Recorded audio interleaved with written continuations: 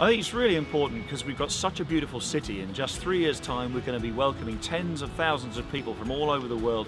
We're investing so much money to make them welcome, to make their visit worthwhile. We want to make sure that all the Americans that come over here to celebrate the sailing of the Mayflower are sorry that their ancestors left. We don't want them to make it uh, look as if they left a really dirty place. As an environmental scientist and an international student, compared to back home, the Little Plymouth is just a lot more than I expected and it's just so important that students work with the local community to just make where they live and where they grow up and where they study and, and just their environment just that little bit cleaner. What better way to spend a Sunday afternoon? Um, I mean, as students, again, we have quite a bad rep for being kind of lazy and not doing a lot with our spare time. Um, it's an opportunity to you know, really get out there and make a difference. And it's literally on our doorstep, and there's no excuse really.